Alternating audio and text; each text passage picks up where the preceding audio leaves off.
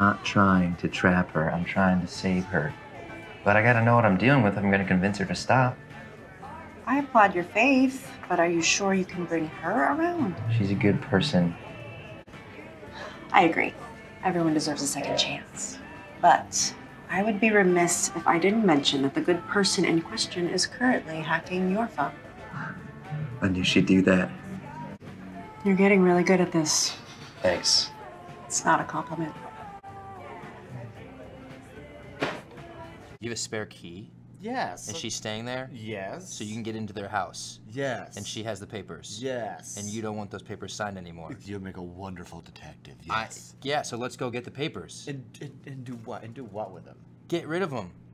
What? Okay, yeah, get rid of them. And what? Then what happens? What, what good is that? Then, gonna wh- do? then you're fucking happy. And what's that gonna do? Papers no longer exist. Your signature no longer exists. You no longer are a sad piece of shit. You come to work again.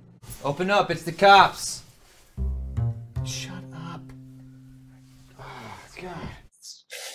She said I had murdered our child, but what I did was worse. So much.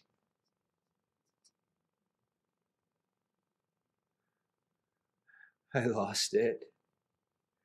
Lost it. Imagine a man coming home after a night spent drinking himself into oblivion, telling his wife, Ha! I know I had the child with me when I left here, but she seems to have disappeared. Couldn't tell you where she's gone. Sorry about that. I learned it's a book, not a child. It was Taya's life. Uh,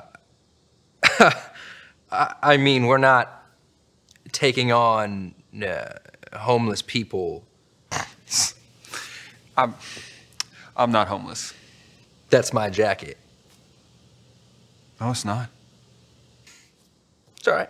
You got some marijuana, Jimmy. Whoa, whoa, whoa, whoa. No, no, sir. Give me that. Fuck! Burn! No, no, no. That's pop. Yeah, seventy-five dollars. Great. See you later. Hey, go party police.